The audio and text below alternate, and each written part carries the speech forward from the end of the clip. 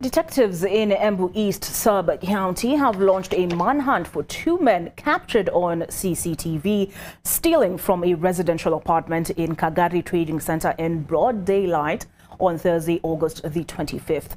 In a daring move, the suspects gained entry into the building by way of the main gate that was left unlocked and broke into four houses where they took away assorted household items, including television sets, gas cylinders and laptops.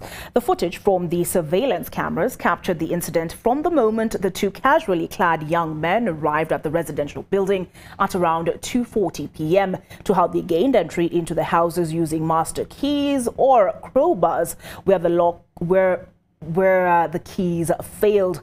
Confirming the incident, Area Deputy County Commissioner Jane Waruinge said a report of the theft was made by the affected occup occupants at Runyenjes police station and the matter is under investigation.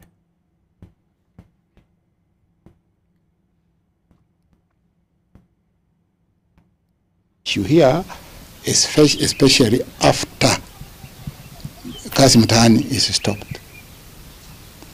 It started being rampant after the Kazi was introduced. Uh, and they brought people from over. There is a Kijiji down here. Many of them come from down here.